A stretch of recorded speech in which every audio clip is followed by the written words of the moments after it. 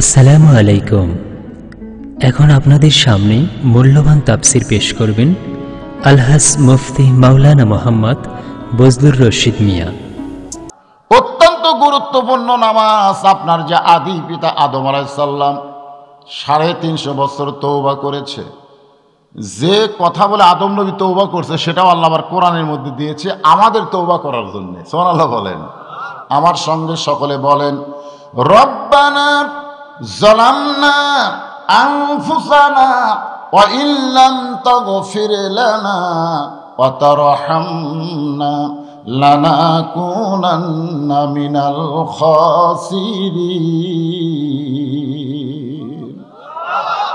এক বছর, দুই বছর না, সাড়ে তিনশো বছর। তৌবা করতে করতে একেবারে অবস্থা খারাপ। এ গাল পচে গেছে, পানি সবসময় পড়ার কারণে গালের গোস্ত পচে গেছে। গোস্ত খোসা হাড় বার হয়ে গেছে। আদম নবী এক সময় নদীর কিনারায় গিয়া নিজের চেহারা দেখে চমকে উঠছে। কারণ তখন তার আয়না ছিল না, স্বচ্ছ পানিতে চেহারা দেখা যায়। আদম বললেন, আল্লাহ, এত কান্দা কান্দি তারপরেও তো কবুল হয় না। আল্লাহ তাই আদম শুধু কাঁদলে হবে না, কাঁদার মতন কান্না লাগবে, কাঁদার মতন কাঁদতে হবে, শুধু কানলে হবে না। আমাদের বাংলাদেশে অনেক মানুষ কান্দে কান্দে না? একজন লোক গজল গাচ্ছে আর কানতেছে।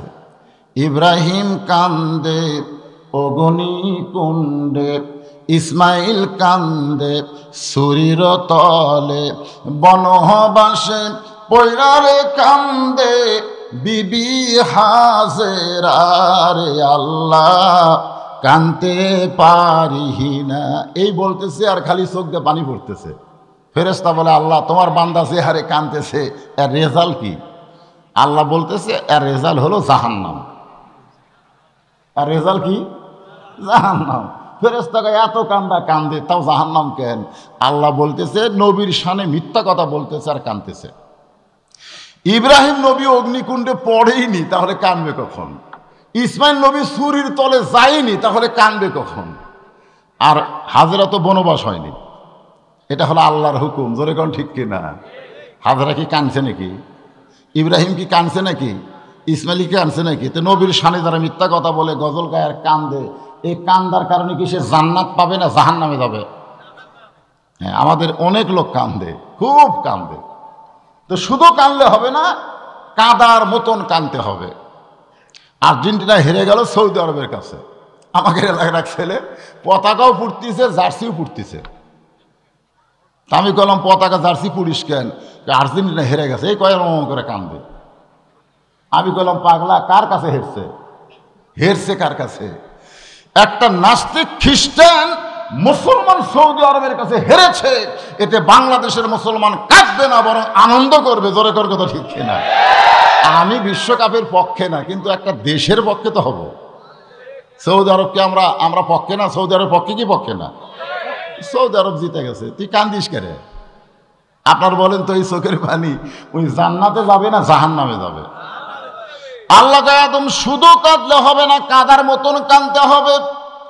সঙ্গে সঙ্গে আদম নবী কাদা বন্ধ করে দিয়ে কান্নার সাগরের মধ্যে ঢুইকে দেখে জান্নাতের দরজায় লেখা আছে, লা ইলাহা ইল্লাল্লাহ মুহাম্মাদুর রাসূলুল্লাহ। আদম বলতেছে, আল্লাহ পাইছি। আল্লাহকে কি পাইছিস রে? বলে, সাড়ে তিনশো বছর লাইলাহিল্লার কাছে কানছি কাম হয়নি। মোহাম্মদ রাসুলের ওসিলায় একটু কানবার চাই। আল্লাহ বলে, আর কান্দিস না, তোর তৌবা কবুল করে নিলাম। সঙ্গে সঙ্গে আদম নবীর শুক্রিয়াতান দুই রাকাত নামাজ আদায় করে। আল্লাহ বলে, হাবিব, আদম নবীর ওই দুই রাকাত নামাজ আমি আল্লাহর এতই ভালো লাগছে আপনার উম্মতের জন্যে। ফজরের দুই রাকাত ফরজ হিসাবে দিয়ে দিলাম। আপনার উম্মতেরা ফজরের দুই রাকাত ফরজ নামাজ যখন জামাতের সঙ্গে আদায় করবে, আদম নবীর সমপরিমাণ সোয়াব আমি আল্লাহ দান করে দিব। লিল্লাহে। নবী বললেন, আল্লাহ আল্লাহ, ফজরের দুই রেখাত ফরজ জামাতে পড়লে আদম নবীর সমপরিমাণ সব যদি আপনি দেন, আর এই খবর যদি আমার উম্মতের একবার শোনে, আমার বিশ্বাস, যারা উম্মত হবে, আমার জীবন যাবে, কিন্তু ফজরের নামাজ তারা কোনোদিন ত্যাগ করবে না। খালি ঠিক করলে হবে না। কারা কারা ফজর আদায় করেন?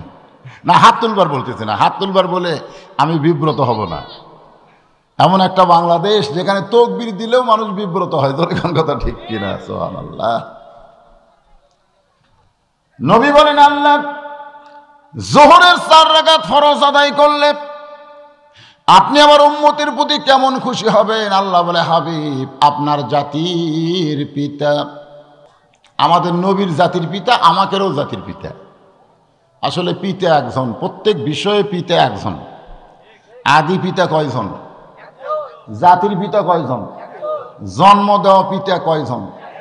কেউ যদি বলে, আমার দুই বাপে জন্ম দিছে, বুঝবেন তার জন্মে ভেজাল আছে। কেউ যদি বলে, আমার জাতির পিতা দুইটা, বুঝবেন তার মুসলিম জাতিতে ভেজাল আছে। জোরে কোন কথা ঠিক কিনা?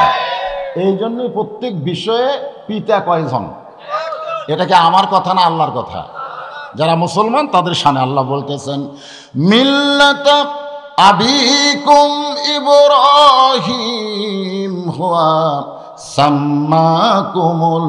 মুসলিমিন। চড়কের উপরে বসে কানতেছে, চড়কে। আর বাবা আজও রশি ধরে টানতেছে। আল্লাহ বলতেছেন, জিব্রাইলকে লিয়াবলুয়াকুম আইয়ুকুম আহসানু আমলা। ইব্রাহিমের সুন্দর আমলের পরীক্ষা করো। ফেরেস্তা জিব্রাইল বলে, আল্লাহ এই সময় পরীক্ষা। আল্লাহ বলে, আমি যা কই তাই শোনো। ফেরেস্তা জিব্রাইল এসে, ইব্রাহিম নবীকে আমাদের জাতির পিতাকে পরীক্ষা করতেছে। এই জাতির পিতার সন্তানেরা একটু শোনেন। ওগো আল্লাহ নবী ইব্রাহিম, আপনি যদি চান, আল্লাহ আমাকে ছয়শো পাখা দিয়েছে, ছয়শো। একটা পাখার বাতাস দিব, আগুনের চুলা সাগরের যা নিভে যাবে। আমাদের জাতির পিতা কি বললেন? আমাদের জাতির পিতার সন্তানকেও বলা হয়েছে, যদি আপনি চান, তাহলে রাষ্ট্রপতির কাছে দরখাস্ত লেখেন। রাষ্ট্রপতি দয়া করলে আপনার ফাঁসির দণ্ড মৌকুফ হবে। জোরে কথা ঠিক কিনা? উকিল কিন্তু বলেছিল। জাতির পিতার সন্তান তখন কি বলেছে? "এই, উকিল এই কি খুশ আমি আমার জীবনে তিনটা প্রেসিডেন্টকে প্রেসিডেন্ট থাকা অবস্থায় মরা দেখছি। একটা হলো বঙ্গবন্ধু শেখ মুজিবুর রহমান একটা হলো জিয়াউর রহমান একটা হলো জিল্লুর রহমান। যারা প্রেসিডেন্ট থাকা অবস্থায় মরে তারা কোনোদিন মানুষকে ফাঁসির দণ্ড মৌকুব করতে পারে না। মানুষকে বাঁচানোর একমাত্র ক্ষমতা কার? আরও জোরে বলেন। সঙ্গে সঙ্গে আমাদের জাতির পিতা বললেন হাসবি আল্লাহু, নিমাল ওয়াকিল, অনিমাল মৌলা অনিমান তো জিবরাইল বলতেছে তাহলে কান দেন কেন? তাহলে কান দেন কেন? বলে, কান্দার কারণ হলো, আমার বাবা রশি টানতেছে। বাবা? সন্তান বিপদে বললে বাবা তাকে সহযোগিতা করে। বিপদ থেকে বাঁচার জন্য। যেরকম ঠিক কি না আর ভাগ্যগুণে এমন এমন একটা বাবা পাইছি, যেই বাবা সন্তানকে আগুনের চুলাই ফেলে দেওয়ার জন্য রশি টানতেছে।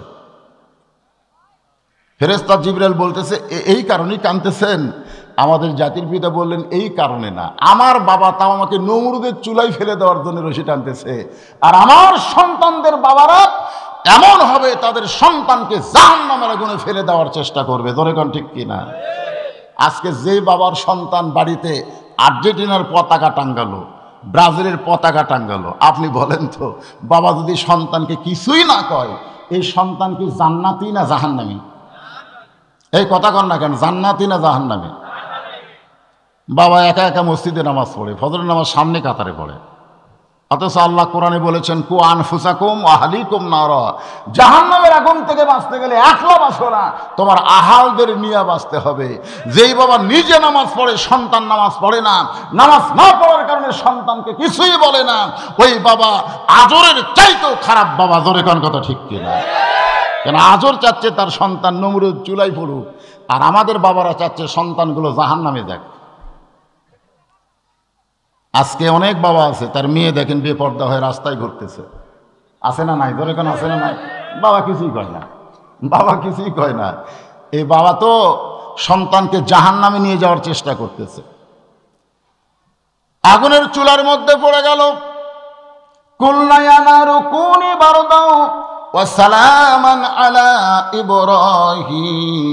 আগুনের চুনা শান্তিদায়ক দেখার সঙ্গে সঙ্গে শুক্রিয়া তান ইব্রাহিম নবী চার রাকাত নামাজ আদায় করে। ওই চার রাকাত নামাজ আল্লাহর এতই ভালো লাগে, আল্লাহ ডাক বলে, হাবিব গো, ইব্রাহিম নবীর চার রাকাত নামাজ আমি যত্ন করে রাইখা দিয়েছি। আজকে আপনার উম্মতের জন্য জোহরের চার রাকাত ফরজ হিসাবে দিয়ে দিলাম। আপনার উম্মতেরা জোহরের চার রাকাত নামাজ যখন জামাতের সঙ্গে আদায় করবে ইব্রাহিম নবীর সম পরিমাণ সব আমি আল্লাহ খুশি হইয়া দিয়া দিব লিল্লাহে।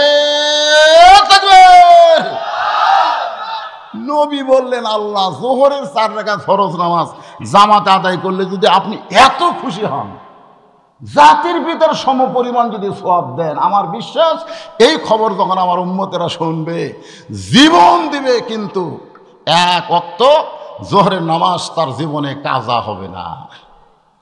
নবী কিন্তু আল্লাহর কাছে কই আইছে। কি কইছে? আমার উম্মত। আমার উম্মত মানে যারা নামাজ পড়ে, তারা নবীর উম্মত। যারা পড়ে না, তারা কি? তারা কার উম্মত?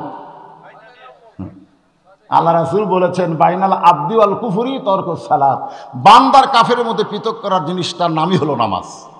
যারা নামাজ পড়বে, তারা আল্লাহর বান্দা হবে। যারা নামাজ পড়বে না, তারা ডাইরেক্ট কাফের। জোরেগন তারা কি? ডাইরেক্ট কাফের। মান সালাত মোতাম্বেদান ফাকাত মসজিদের উন্নয়ন কল্পে মাহফিল, মসজিদের উদ্যোগে মাহফিল। নামাজের খবর কি? আসরের চার রাকাত ফরজ নামাজ। নবী ডাক্তা বলেন, আল্লাহ আসরের চার রাকাত ফরজ আদায় করলে আমার উম্মতের প্রতি আপনি কেমন খুশি হবেন? আল্লাহ বলে, হাবিব, আপনার উপর যেই কিতাব নাজিল করেছি, এই কিতাবের মধ্যে সবচাইতে বেশি যাকে নিয়ে আলোচনা, তার নাম হলো মুসা কালিমুল্লাহ। সোহান আল্লাহ মুসা কালিমুল্লাহর বহু আজ আপনারা শুনছেন। খুব চালাক।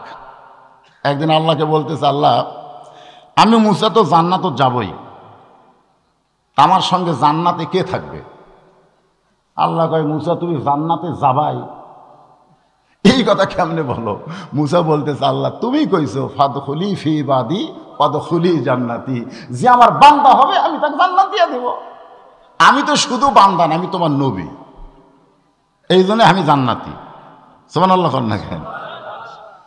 আল্লাহ বলতেছে, মুসা, তোমার সঙ্গে জান্নাতে কে থাকবে যদি জানতে চাও, তাহলে শোনো, অমুক বাজারের একটা কষাই কষায়ের কথা শুনে মুসা চুম করে কয়, আল্লাহ, কত নবী আছে আমার সঙ্গে ঘরে, সবসময় আমার ভাই হারুন। আপনি তো বলতে পারেন যে হারুন তোর সঙ্গে জান্নাতে থাকবে। তো হারুনের কথা না কয়ে কষায়ের কথা কন কেন? আল্লাহকে শুনবার চাইলে তাই কইলেন। একটা কষাই মুসা নবীর সঙ্গে জান্নাতে যাবে। একদিন মুসা বললেন, আল্লাহ আপনি হলেন জ্ঞানী, আমি হলাম জ্ঞানী, এছাড়া তো কোনো জ্ঞানী নাই।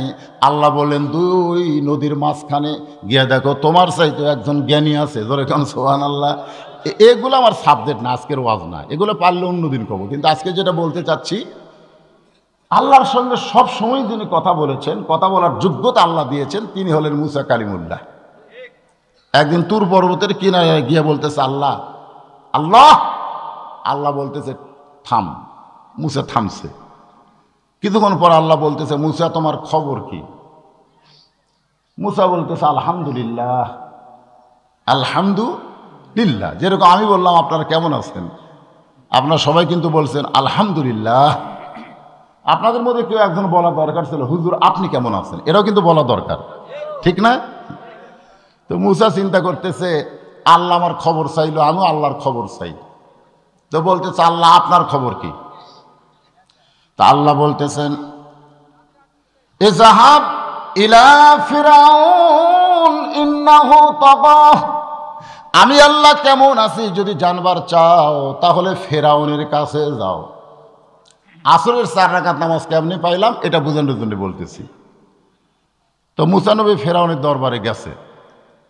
যা দেখে ফেরাউন জিকির করতেছে, আনা রব্য কোমল আলা, আনা রব্য কোমল আলা। এর বাংলা অর্থ হলো সমস্ত রবের উপরে আমি ফেরাউন। আসলে রব কয়জন? আরও জোরে কন। কোরআন শরীফে একটা সুরা আছে, একবার পড়লে দশ পারা কোরআন পড়ার সব পাওয়া যায়। নাম কি? আপনারা বলেন তো, প্রত্যেকটা সুরার নাম কোরআনে আছে না নাই? কুল আউজুর রব্বিন নাস। সুরার নাম কি? কুল আউজুবি রব্বিল ফালাক। সুরার নাম কি? তাব্বাত ইয়াদা আবি লাহাব। সুরার নাম কি? ইজা নাসরুল্লাহ, সুরার নাম কি? কুলিয়াই হল কাফিরুন, সুরার নাম কি? কুল হুয়াল্লাহ আহাদ, সুরার নাম কি? আমি তো চিন্তা করি, কে রে, সব সুরার নাম সুরার মধ্যে আছে। আরে, একলা সুরার নাম সুরার মধ্যে নাই। কারণ কি? এই সুরার নাম হওয়া লাগতো সুরায় আহাত ঠিক কিনা বলেন? কিন্তু সুরা আহাত না হয়ে ক্লাস কেন হলো? যদি আপনাদের প্রশ্ন করি, আপনারা কি জানেন? না জানলে বলবেন, জানি না। জানেন? সবাই এক বাক্যে বলেন, জানেন? জানেন? মাশাল্লাহ তাহলে আজকে এটা আপনাদের জানান দরকার। একবার বললে আল্লাহ দশ পারা কোরআন পড়ার সব দেয়। কারণ এখানে রবের কথা আছে না নাই? একজন না কয়জন? সকলে বলেন কুলহু আল্লাহ আহাদ, আল্লাহ সামাদ, লাম ইয়ালিদ ওয়ালাম ইউলাদ ওয়ালাম ইয়াকুল লাহু কুফুয়ান আহাদ। তো এখন ফেরাউন বলতেছে, আনা রব্য কোমল আলা। মুসা চিন্তা করে, এখনই যার সঙ্গে কথা বলে আসলাম। এখনই যার সঙ্গে কথা বলে আসলাম, তুর পর্বতে। সেটা কে? আর এটা কে? আজকে আমরা যখন কোরআনের হক কথা বলি আমরা কি আমাদের কথা বলি না আল্লাহর কথা বলি? মনে করেন এখনই আমি সুরা মুলুক পড়ে আসলাম। সুরা মুলুক পড়ে টেজে আসলাম আর একজন আবার কানে কানে বলতে যে, হুজুর রাজনীতির অর্জন করেন না। মনে করেন। আমি চিন্তা করি করি এখনই পড়লাম কি আর এই শালা কয় কি? আমাদের বাংলাদেশে এরকম বক্তাদেরকে বলা হয় কি হয় না? ধরে কেন হয় কি হয় না? হ্যাঁ হয়। তবে মার্শাল্লাহ আপনাকে মান্দাতে আপনাকে মান্দায় এটা ব্যতিক্রম। আমি মান্দাতে ওয়াজ করে, খুব শান্তি পাই, খুবই শান্তি। এজন্য ঘরে ঘরে আমার ওয়াজ। কোনো টেনশন নাই, কোনো নেতাও কয় না, আওয়ামী লীগ কন, বিএনপি কন, আর যাই কন, কেউ কয় না যে, হুজুর, এলেলা বাদ দেওয়াজ করবি। এ কথা কেউ কয় না। তাবারাকাল্লাযী বিয়াদিহিল মুলকু আলা কুল্লি গোটা পৃথিবীর রাজত্ব কর্তৃত্ব মালিকানা কার হাতে? সমস্ত ক্ষমতার মালিককে। মাশাল্লাহ এখনই মুসা যার সঙ্গে গল্প করছে সেটা কে? আর যার কাছে গেছে সেটা কে? কিন্তু জিকির করতেছে আনা রব্য কোমল আলা মুসানবীর হাত চুলকায় হাত চুলকায়। মুসানবী কিন্তু সেই রকম নবী। রাস্তা দিয়ে যাচ্ছে, এক দোকানদার কানতেছে। মুসাকায় কান্দিস কেন? বলে, ফেরাউনের বাবুরসি বাকি খাতে খাতে আমার শেষ। যদি বলি টেকা দাও, তখন রাগ করে কয়, আমি কার দল করি তুই জানিস? আমি কার দল করি? আমার দল ক্ষমতা আছে রে, আমি ফেরাউনের দল। টেকা চাইলে তোর দোকান তুলে দেবো রে। মুসা দোকানদারকে বলছে যে, কে কইছে? বলে, ফেরাউনের বাবুরসি ওর দল নাকি ক্ষমতা আছে। মানে ফেরাউন যে ক্ষমতা আছে, ওর দল ক্ষমতা আছে, টেকা চাইলে দোকান তুলে দিবি। মুসা কয়, কে রে ওই করে ফেরাউনের দল, আমি করে আল্লাহর দল। গেল কোথায় শালা? ও হইতে যাচ্ছে। দৌড়ে, এই সব! কে রে দোকানদারের টাকা দে। বল টাকা দেবো না। আমি ফেরাউনের দল করি। মুসা কয়, তুই ফেরাউনের করিস, আমি আল্লাহর করি। মারছে চড় এক চড়ই মরছে। মারাও সারা, মরাও সারা। বুঝা বলতেছে, দেখ, ফেরাউনের দলের শক্তি দেখ, আর আল্লাহর দলের শক্তি দেখ। ধরে কর সোহান আল্লাহ আজকে আমাদের বাংলাদেশে আল্লাহর দল আছে না নাই? ফেরাউনের দল আছে না নাই? ফেরাউনের দলের কোনোই শক্তি নাই, খালি মুখ আছে, মাইরে আছে। ধরে কোন কথা ঠিক কি না আল্লাহর দলের শক্তি আছে না নাই? কিন্তু শক্তি দেখায় না, দেখার সময় হয় নাই। আল্লাহ চাহে তো সামনে দেখানো হবে, ধরে কোন কথা ঠিক না মুসানবী হাত চুলকায়, হাত হাত।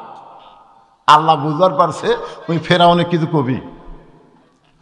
আল্লাহ বলেন ও ইলা সাবিলি রাব্বিকা বিল হিকমাতি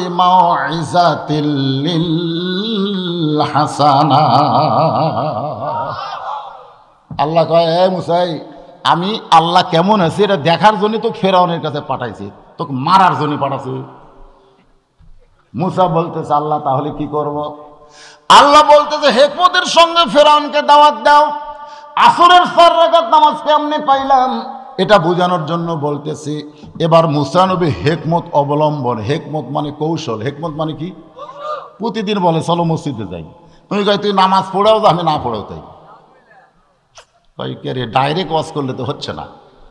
চলো ভাই, মসজিদে যাই, কই তুই নামাজ পড়াও তো আমি না পড়াও তাই দেখতেছে না, হেকমত অবলম্বন করা লাগবে। হেকমত কি? একদিন মান্দা ফেরিঘাটের কাছে অক পাশে যাক, প্রতিদিন নামাজের কথা কয়, অক পাইছে। হাত ধরে বলতেছে, চলো যাই। তখন ঘড়ির দিকে তাকায় বলতেছে, এটা তো কোনো নামাজের সময় না রে। এটা তো নামাজের সময় না, কেবল সাড়ে তিনটা বাজে। কোথায় যাব? বলে, ভাই, এতদিন নামাজের দাওয়াত দিছি, আজকে চা খাওয়ার দাওয়াত।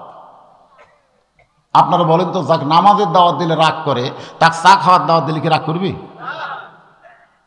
তো চলো ভাই। যা চা স্টলে বসে বলতেছে, নিমকি দে, পেঁয়াজি দে, মিষ্টি দে। এত কেন ভাই? বলে, আপনি আমার ভাই না, আপনাকে আমি খাওয়াবো। তিরিশ টাকার আন্দাজ যখন খাওয়া হয়েছে, তখন আসরের নামাজের আজান দিছে কোন নামাজের আজান? আসরের নামাজের আজান দিয়েছে। তো বলতেছে ভাইজান, মসজিদে মসজিদ ডাকতেছে, আর দশটা মিনিট পরে ডাকলে আরও দশ টাকা খাওয়াতাম। কিন্তু মসজিদ তো সময় বুঝা ডাক দিল। তো আপনি এখানে বসে থাকেন, আমি খালি নামাজ পড়ে আসতেছি। আরও দশ টাকা খাওয়াও ভাই। আজকে নিয়ত করছি চল্লিশ খিলামো। এই কথা বলে লোকটা মসজিদ দিকে যাইতেই বেনামাজি খপ করে হাত ধরছে। ধরে বলতেছে একলা একলা কোথায় যাবেন? আমাকে বলবেন না। না না, এতদিন বলছি তো। তুমি যে রাগ করো। মেয়ে এতদিন খালি খালি দাওয়াত দিছ, আর আজকে আমার খিলেছ। আজ খালি কয়া দেখো। আরে আল্লাহর জন্য না হোক, তোমার জন্য আসল বর্মরে তুমি কি মনে করছ, আমার মধ্যে মানবতা নাই? যে আমার জন্য চল্লিশ টাকা খরচ করবি, আর তার জন্য এক হচ্ছে নামাজ পড়ে পারব না? তখন মুসকি মুসকি হাসতেছে আর গোপনে আল্লাহ বলতেছে, আল্লাহ ডাইরেক্ট কাম হয়নি, আজকে হেকমতে মনে হয় কাম হবে। মসজিদের কাছে যা বলতে তো ভাইজান এতদিন খালি নামাজের কথা বললি, আপনি যে খেপা খেপছেন তো বলে, আজকে আবার কি কথা বলবি? বলে, নামাজের আগে অজু করা লাগবি ভাই। এখন মাঘ মাস, পৌষ মাস অজু করা খুব সহজ। বলে অজু করা লাগবে বলে, যা বলবি তাই শুনব।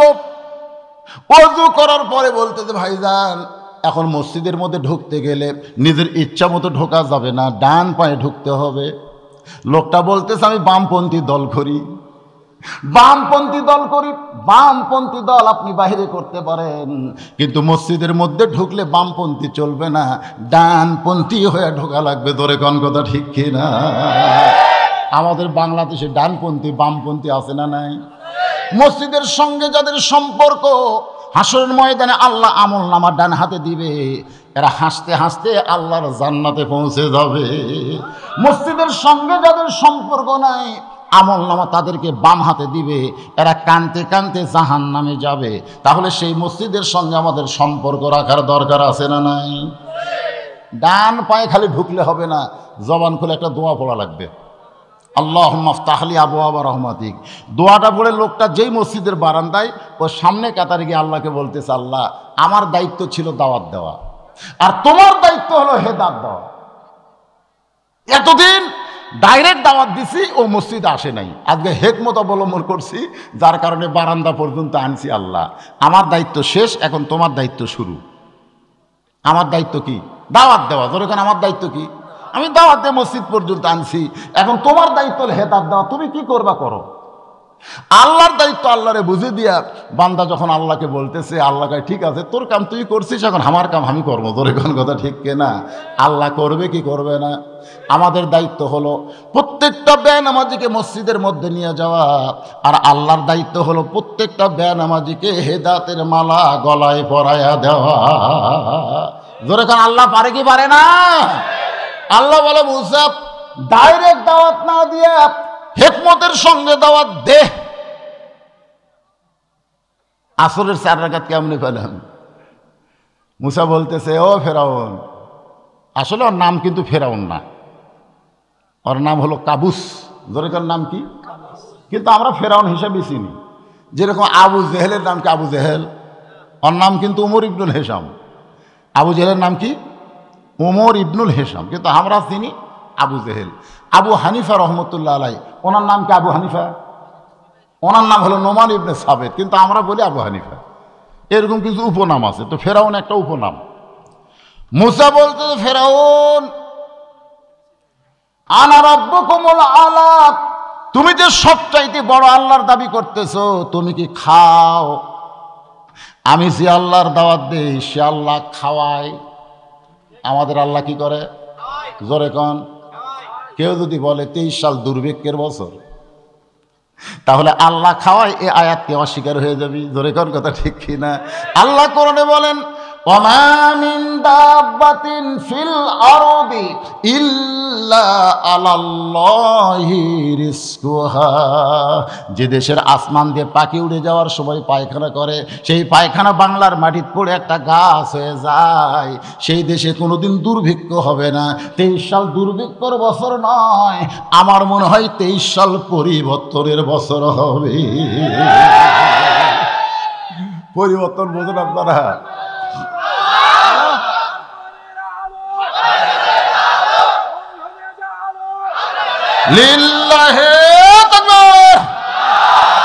এই যে যখন বলতেছেন আল কোরআনের আলো, কেউ বলতেছেন সংসদে, ওটাও বলার দরকার নেই। কারণ সংসদে বললে অনেকে বিব্রত হয়। তা আমরা বলব, আল কোরআনের আলো সব জায়গায় মানে কোনো জায়গা বাদ হওয়া যাবে না। ধরে কোন কথা ঠিক না তার মধ্যে সংসদ আছে না নাই? হ্যাঁ সব জায়গায়। এই জন্যে আমরা কাউকে বিব্রতের মধ্যে ভালাবো না। হ্যাঁ বিব্রত হয় না, অনেকে বলে, এই সংসদের কথা বলে এরা ওই দল রে, ওরা ওই দল রে। তো ওই দল যেন কবার না, চান্স না পায়, আমরা সবাই এক দল। ধরে কোন কথা ঠিক কি না আল কোরআনের আলো, কোরআন হাদিস যেখানে দুনিয়ার মুসলমান লিল্লাহে।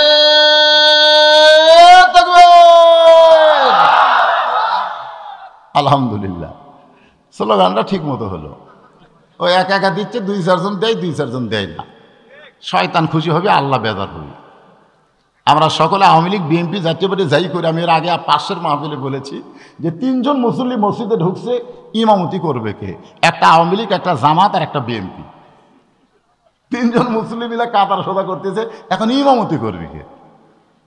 আওয়ামী লীগ বলতেছে, ভাই, সারা জীবন পড়েছি রে, পড়াবার পারি না। বিএমপি বলতেছে, আমি খুব বেশি বার লাকামত পারি আর বেশি পারি না। আর দামাত বলতেছে, আমি পড়ি, আবার পড়াই। আওয়ামী লীগ বলতে, তাহলে তুই সামনে যা। এখন জামাতকে সামনে দিয়ে দুইজন বলতেছে, একটু দায়িত্ব বিহাবুল ইমাম ফেরেস তাকে আল্লাহ তাক যুদ্ধ অপরাধী কয়, তাকে ইমাম বানাছে। আল্লাহ কয়, এই ঘরের মধ্যে যখন ঢোকে, তখন চোদ্দ দল, বিশ দল থাকে না রে এক দল হয়ে যায়। সোর আল্লাহ আমি সেই মসজিদের ফাসল লিলি রব্বিকা নামাজের ওয়াজ করতেছি, ভাইজান। হ্যাঁ একটু মনোযোগ দিয়ে শুনবেন। এখন আসরের নামাজ কেমনে পাইলাম? এটা বোঝানোর জন্য বলতেছি মুসানবী বলতেছে ফেরাউন, তুমি যে আল্লাহর দাবি করো, তুমি কি খাও? সঙ্গে সঙ্গে ফেরাউনের পাশে একজন মন্ত্রী আছে ওর নাম হলো হামান। ধরে কোনার নাম কি? হামান বলতেছে, আমার আল্লাহ খায়। মুসা মুচকে মুচকে হাসতেছে। ফেরাউন কয়, হাসিস কেন রে মুসাকে হাসার কারণ হলো ওই শালাই তো তোকে নষ্ট করছে। বাংলাদেশে কতগুলো হামান মন্ত্রী আছে যারা জীবনে চেয়ারম্যান হওয়ার পারবে না, বিনা ভোটে এমপি মন্ত্রী হয়ে এর কে যা মোশান হসে ভাই? জোরে কোন কথা এরকম কিন্তু হামান মানকা মন্ত্রী আছে না না জোরে কোন আছে না? এরা আবার আমাকে নামের তালিকা করে। এরা হুজুরেকের নামের তালিকা করে হামানের গোষ্ঠী। একটা চেয়ারম্যান হওয়ার ভোট তোর বাংলাদেশত নাই। জোরে কোন কথা ঠিক কি না? বিনা ভোটে মন্ত্রী হয়ে মোশান মারতেছিস? তো হামানের তো কোনো ভোট নাই। ওই ফেরাউনের মুখের দিকে তাকা তাকা প্রধানমন্ত্রী হসে হামান বলতেছে আমার আল্লাহ খায়। সঙ্গে সঙ্গে মুসা বলতেছে হামান রে, তোর কারণেই ফেরাউন নষ্ট হলো। ফেরাউন এত নষ্ট ছিল না, তুই নষ্ট করছিস। খালি তেল তেলা তেল তেলা। তেল তেলা বোঝেন না? তেলাই তেলাই করে করে ফেরাউন শেষ করছে। ফেরাউন কিন্তু এক সময় গভীর রাত্রে মাজার গামছা বান্ধা আল্লাহর কাছে বলতো, আল্লাহ তুমি তো আল্লাহ, আমি কিছু না। কিন্তু জনগণের কাছে একটা আল্লাহ সাইজি তুমি বোঝো না। এই কথা কয়ে কয়ে আল্লাহর কাছ থেকে অনেক কিছু সে খুলছে। একটু শোনেন হামান বলতেছে, আমার আল্লাহ খায়। সঙ্গে সঙ্গে মুসা বলতেছে, খাইলেই বিপদ, খাওয়াইলে কোনো বিপদ নাই। আমাদের বাংলাদেশে যারা খায় তারকে বিপদ কম না বেশি। আমি ডাক্তারের কাছে গেলাম, ডাক্তার আমার গোটাল বডি চেক আপ করল, রক্ত টক্ত সব পরীক্ষা করে বলতে হুজুর, আপনি এই অসুস্থ হয়েছেন, খালি খাওয়ার কারণে। খালি খাওয়ার কারণে। আমি বললাম, কি খাইছি বলে, এই যে মিষ্টি খাইছেন, গরুর গোস্ত খাইছেন এরা খাইছেন, সেটা খাইছেন, এইগুলা খাওয়া চলবে না। এইগুলা খাইলে আপনার ডায়াবেটিস বেড়ে যাবে, রক্তের প্লানিনেট কমে গেছে, এখন আপনি মরবেন। খালি খাওয়া বন্ধ করেন, আপনি ভালো হবেন। আমি তখনই বুঝলাম, খালি বিপদ। খালি বিপদ! আমাদের বাংলাদেশে খালি খাই খাই, জোরে কর কথা ঠিক কিনা, খালি খাই খাই। এই খাই খাই করার জন্যে আজকে আমাদের বাংলাদেশের অবস্থা এরকম হয়েছে। একেবারে আর ব্যাংকে কোনো টাকা নাই রিজার্ভ ফান্ডও হাত গেছে। রিজার্ভ ফান্ডে আমাকে হাত চলে গেছে। সোনা বিক্রি করে এখন দেশ চলার লাগবে। খাই খাই হাই হাই এক একটা নেতা কেড়ে যা মোশান ভাই। একটা টাকাও বাংলাদেশের ব্যাংকে নাই, সব বিদেশের ব্যাংকে লক্ষ কোটি টাকা পাচার করছে। জোরে কোন কথা ঠিক কিনা? খালি খাই খাই আল্লাহ রাসুল বলেছেন ক্ষুদা লাগলে তুমি ক্ষুদাকে তিন ভাগ করো, এক ভাগ খাবে, এক ভাগ পানি পান করবে, আর এক ভাগ আল্লাহর জন্য ফাঁকা রাখবে। এই তরিকায় যদি তুমি করে খাও, তোমার কোনোদিন সিনার উপরে, বুকের উপরে প্যাট উঠবে না। আজকে অনেক নেতা আছে যাদের সঙ্গে কোলাকুলি করবার গেলে খালি প্যাটি ঠেকে, বুক ঠেকে না। জোরে কার কথা ঠিক কিনা? মনে হয় দশ মাসে পথই। খালি নেতা নামাকের মধ্যে কতগুলো হুজুরও আছে, জোরে কোন কথা ঠিক কিনা? আয় আয়। হুজুরের চেহারা দেখলি কেন বুক এটি প্যাট এটি, এত খাস করে হুজুর। রাসুল বলেছেন, তিন ভাগ করো, তিন ভাগ করো, এক ভাগ খাও, এক ভাগ পানি পান করো, এক ভাগ আল্লাহর জন্য ফাঁকা রাখো। বেশি খাইলে আমার অবস্থা খারাপ। মুসা বলে, ফেরাউন, একদিন যদি বেশি খাও আর বেশি খাওয়ার পরে যদি হজম না হয়, হজম করার ওষুধ খাইলে তখন কিন্তু পাতলা পায়খানা হবে। মনে করে ফেরাউন তোমার পাতলা পায়খানা। পায়খানা করতে গিয়ে কমপ্লিট করে যেই ফেরাউন উঠছে, সঙ্গে সঙ্গে আবার পেটে কামড় মারছে, আবার ফেরাউন বসে গেছে, আবার ঝটঝট করে পানির মতন পাতলা পায়খানা। কমপ্লিট হওয়ার পরে ফেরাউন উঠছে, আবার পেটে কামড় মারছে। একবার পায়খানায় যায় পাঁচবার, ধরে কোন কয়বার? ছয়বার যখন ফেরার উঠবার চাই, সঙ্গে সঙ্গে মাথা ঘুরে পড়ে গেছে। পায়খানার মধ্যে ফেরাউন পড়ে গেছে, এখন আল্লাহ কাত। ধরে কোন কে কাত? আল্লাহ কাত হয়ে গেছে। আমার দুই চকিদার বলতে তো হুদুর হিন্দু করে পূজা পড়া দিয়ে আমাকে খুব মজা। আমি বললাম, কেন ভাই? বলে হুদুর আপনি তো জানেন না, আমরা পহরা দিবের যাই দিকে দশ হাত, তিন হাত, পাঁচ হাত যেগুলো আছে, এরকে সামনে খালি খাবার দেওয়া যায়। ওরা তো খালি চাইয়া থাকে, খাবার পারে না। হিন্দুরা খাবার দিয়ে যখন চলে যায় ঘি দিয়ে নারকেল বড়ি। হুজুর জীবনে খাচ্ছেন? না ভাই, খাইনি। ঘি দিয়ে নারকেল বলি দিয়ে গেছে। দশ হাতে খালি চাইয়া আছে। কেউ যখন না আমরা যাই নারকেল বড়ি দিয়ে সমানে খাই। খাতে খাতে হুজুর, একদিন গভীর রাত্রে চেতন ভয় দেখি, কোন সময়ে এই হিন্দুরা দিয়ে গেছে, আমরা তো ঘুমায় গেছি, এক কুত্তে এসে সমানে খাচ্ছে। দশটা হাত লেখালে চাই আছে, ওই কুত্তেই খেতাবার পারতেছে না। আমরা আয় আয় তাকাবার আরও নম নম নম নম করে। পরদিন সকালবেলা দিকে কয়েকটা হিন্দু আসে ইনকা ঠাকুরের পাঁচ হাত দিয়ে চুমে খাচ্ছে আর নম নম করতেছে। আমি হারিয়ে যাক নম নম করিস এই কুত্তে খেতাবার পারে না রে। আল্লাহ কাত হয়ে গেছে। জোরে কন কে কাত? এবার গেলে শরীরে বল লাগবে। জোরে কর কথা ঠিক। এখন পায়খানার মধ্যে ফেরান এ সাঙ্গ বাঙ্গ কোথায় রে? আমার টাইমে বের কর! এখন চারিদিক থেকে সাঙ্গ পাঙ্গ এসে পায়খানার দরজা খুলে দেখে আল্লাহ কাত অনেকে কিন্তু ফেরাউনের চাকরি করে, ফেরাউনের দুই চোখে দেখবার পারে না।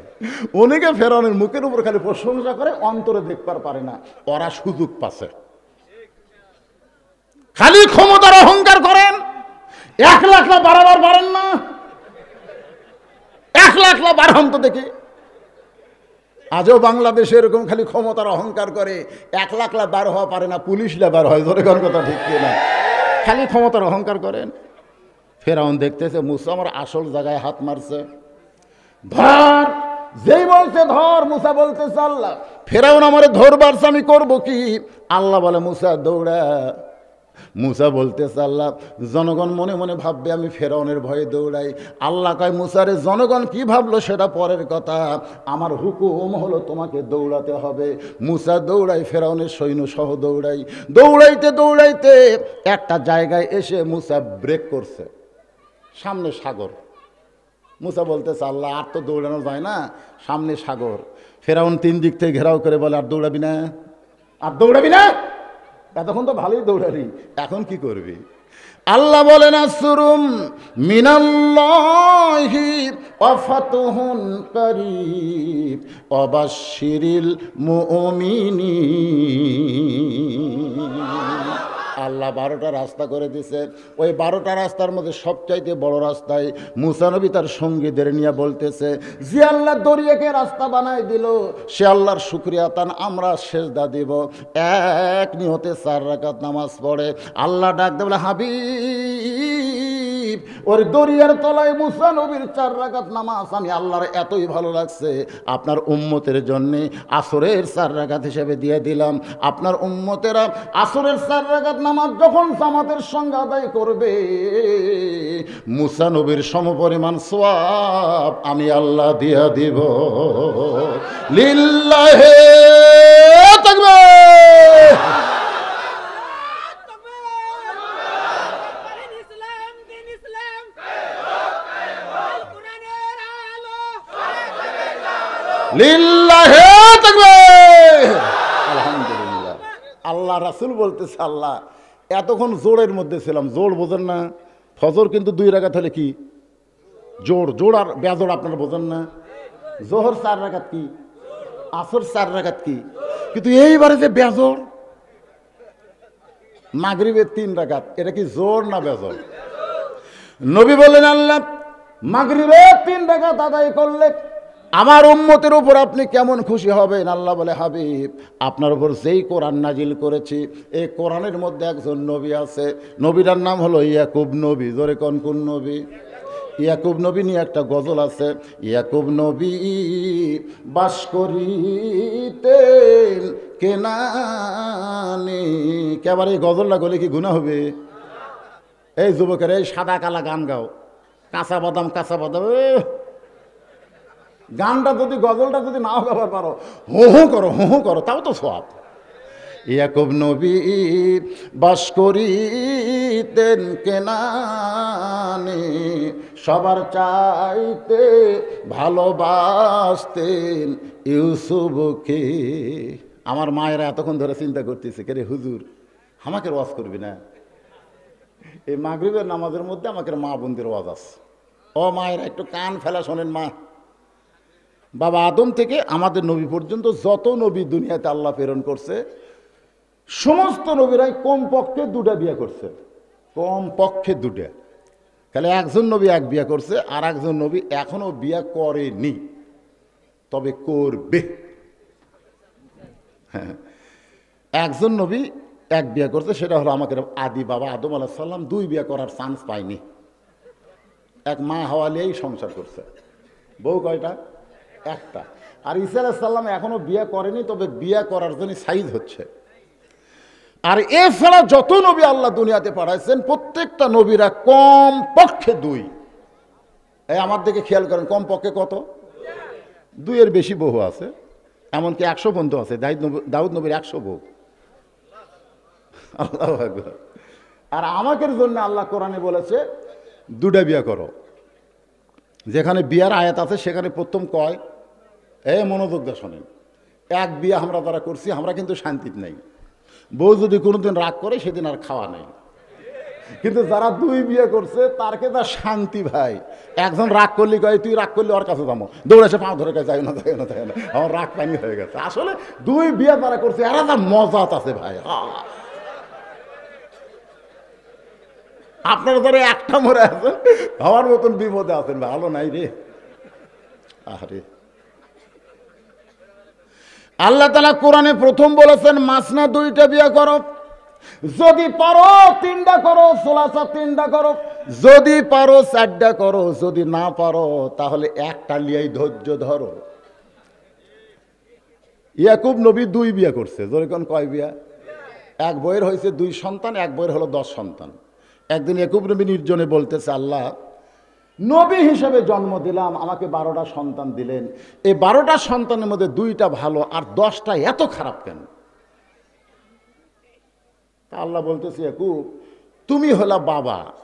সন্তান ভালো মন্দ, এখানে বাপ, বাবা, বাপের কোনো হাত নাই। সন্তান ভালো মন্দ হয় মায়ের কারণে। তোমার যে বউটা ভালো, সে বইয়ের পেট থেকে বনিয়ামিন ইউসুফ হয়েছে, এই জন্য এরা দুই সন্তান ভালো। আর তোমার যে বউটা খারাপ, ওর পেট থেকে যে দশটা হয়েছে, এই জন্যে এই দশটা খারাপ। খালি খারাপ না রক্তমাখা জামা লিয়ে এসে বাপের হাতত দিচ্ছে দিয়া বলতেছে, মগরবের তিন রাখাত শোনেন। রক্তমাখা জামা নিয়ে খুব বলতেছে, কে রে রক্তমাখা জামা কেন? বলে, আমরা বহু চেষ্টা করলাম, আব্বা ইউসুফক বাঁচাবার পারিনি। বাঘ আসে, ইউসুফকে খায় ফেলল, কিন্তু জামাটা লিয়ে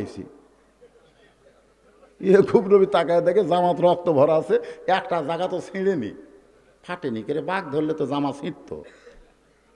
এখন নবী চিন্তা করতেছে, আমার দশ সন্তান, ইউসুফ ঋণের ষড়যন্ত্র করতেছে, কিন্তু এখন জবান খোলা যাবে না, জবান খুললেই বিপদ হবে। জোরে কোন কথা ঠিক কি না বর্তমানে আমরাও জবান খুলবার পারতেছি না। জবান খুললি যে কটা ধরা খাচ্ছে, এর কারও বিপদ বাড়বি। জোরে কোন কথা ঠিক কি না এই জন্য আমরা তেল তেলা ওয়াজ করতেছি ভাই দরকার ইয়াকুব নবী চিন্তায় পড়ে গেল। জামা ছিঁড়িনি, ফাটেনি, রক্ত ভিজা। ইউসুফ রে বাগে খাইছে। এই কথা যে দশ সন্তান বলতেছে, এরা আসলে ইউসুফ নিয়ে ষড়যন্ত্র করতেছে। কিন্তু এখন জবান খোলা যাবে না। জবান খুললে ইউসুফের বিপদ হবে। তিনি কিন্তু জানতে পারলেন, সব জানেন। বাগে খাসে বাগে খেলে জামা এরকম হয়? আমরাও জানি, নারী নির্যাতন করেনি, ধর্ষণ করেনি, লুটতারাজ করেনি। করেনি এটা আমরাও জানি তোর কোন কথা ঠিক কিনা? কিন্তু আমরা বলতেছি না, কারণ বললি। ইয়াকুব নবী রক্ত কে রে আবার এতক্ষণ পড়াশা কি শুরু করল? এই, বাজান, এটা করেন না। ওয়াজের এমন পয়েন্ট আইসি এখন এটা করা যাবে না। হ্যাঁ বাবা, বসো বসো। খুব খেয়াল করে শুনবেন ইয়াকুব নবী বলার জায়গা যেখানে বলা যাবে সেখানে গেলেন। ওই রক্তমাখা জামানে ঘরের মধ্যে গিয়ে বললেন, আল্লাহ, ও দরদে আল্লাহ, আমার দশটা সন্তান ইউসুফকে নিয়ে ষড়যন্ত্র করতেছে। মাবুদ, আমি বুঝবার পারছি, কিন্তু জবান খুলতে পারলাম না। আমি তোমার কাছে বলতেছি, ইউসুফ যেখানেই থাকুক না কেন, তুমি আল্লাহ তার হেফাজত করো। আপনারা বলেন তো, বাবা যদি সন্তানের জন্য দোয়া করে, আল্লাহ কি দোয়া কবুল করে? এটা কোন বাবা? এটা শ্বশুর আব্বা? হ্যাঁ? কতগুলা বিজাতা আছে? বিজাতা শ্বশুরের সামনে দেখায় আব্বা, আসসালাম আলাইকুম, আব্বা। কেমন আছেন, আব্বা? আম্মা কেমন আছে? ওরে বাবারে, ওর মতন ভদ্র কেউ নাই। অথচ শালা বাপের সামনে দিয়ে যায়, কুত্তে গেল না, মানুষ গেল, সালাম টালাম কিছু নাই। জোরে কোন কথা এ- এরকম আছে না নাই? জোরে কোন আছে না নাই? আরে দুনিয়ার সব মানুষকে সালাম দিলে যে সব হবে। নিজের বাবাকে সালাম দিলে এর চাইতে বেশি সব আল্লাহ তোমাকে দিয়ে দিবে। বাবার সাথে কথা কয় না। বউ যে কি কান মরা দিছে, আর কথা কয় না। আগে ছেলে ভালোই ছিল, কিন্তু বিয়ে করার পর থেকে ওই নষ্ট হয়ে গেছে। এরকম আছে না নাই? জোরে কোন আছে না নাই? দয়াল বাবা কোনো দোয়া করে কাম হবে না। কতগুলো দয়াল বাবার কাছে যায়, বাবা, আমার জন্য একটু দোয়া করে বাবা। খালি কান সারা জুতের বাড়ি, তোর বাপ মা বাঁচে আছে আছে। বাপ ছাড়া দয়াল বাবার কাছে আসছিস কেন? আল্লাহ কোরআনে বললেন ওয়াকাযা রাব্বুকা আল্লা তা'বুদু ইল্লা ইয়াহু ওয়া বিল ওয়ালিদাইনি ইহসানা। আল্লাহ তাআলা ইউসুফকে হেফাজত করছে। করেনি ভাই, করেনি? কুয়ার মধ্যে ফেলা দিয়েছে হাত পা বান্ধে বণিকেরা যাওয়ার সময় পানি পান করবে, পানি পান না করে ইউসুফরে তুলে জোলাইকার কাছে বেচছে। জোলাইকা ইউসুফকে লালন পালন করতেছে, আমি মাগরিবের তিন ডাকাত বলতেছি, তাড়াতাড়ি বলা লাগবে এই জন্য লালন পালন করে এক সময় ইউসুফের চেহারা দিকে জোলাইকা পাগলি হাসা। কে রে?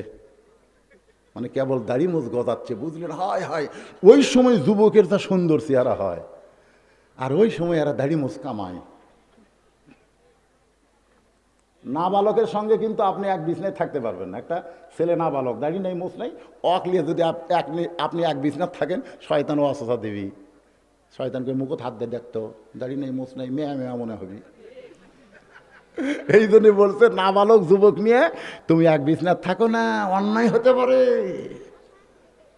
এই জন্য আল্লাহ বালেক করার জন্য মুখে দাড়ি মুছ দেয়। আর কতগুলো এটা বোঝে না? ফেলুনের জায়গায় দে দাড়ি মুছকে আমার বাড়ি যাচ্ছে? বউ খালি তাকায় দেখে যতগুলো মেয়ে মানুষ আমার স্বামীর দিকে তাকায়, ওর মেজাজ খারাপ হয়ে গেছে। আমার স্বামী যদি দাড়ি থাকতো, একটা মেয়েও তাকাতো না। সবাই বলতো, এটা চাষারে তাকে লাভ নাই। কিন্তু দাড়ি মোজ কামাই বউ দেখতেছে, আমার স্বামী তো অনেকের অনেকের মনোরঞ্জন করতেছে। এই জন্য স্বামী আসার সাথে সাথে বলতেছে, আসো, তোমাকে একটা জিনিস দেখাই। বলে, কি দেখাবা? বলে, ড্রেসিং টেবিলের সামনে গেছে।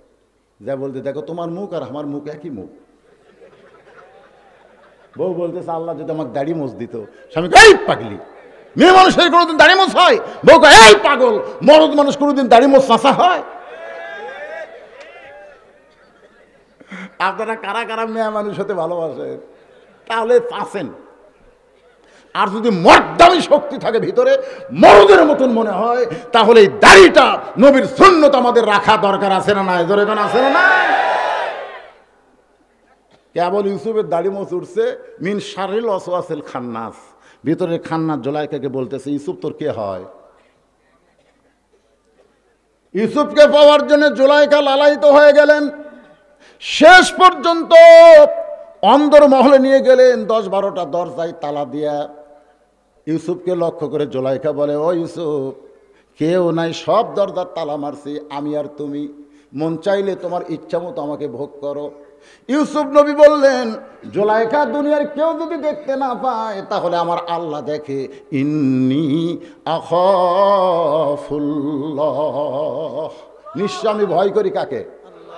জোলাইকা বলে লাভ নাই। তুমি যে আল্লাহর ভয় করো, সে আল্লাহ তোমাকে বাঁচাবার পারবে না।